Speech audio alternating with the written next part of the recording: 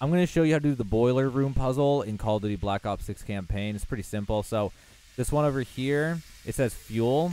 You're going to want to turn this one one time, but specifically want it to be on 50, which is the halfway point. This one's the boiler. You see this gauge here. You're going to turn the boiler until it's at zero or off, basically. Turn the boiler off. Once the boiler's off and the fuel's halfway, then you're going to go over to this and you're going to turn the switch.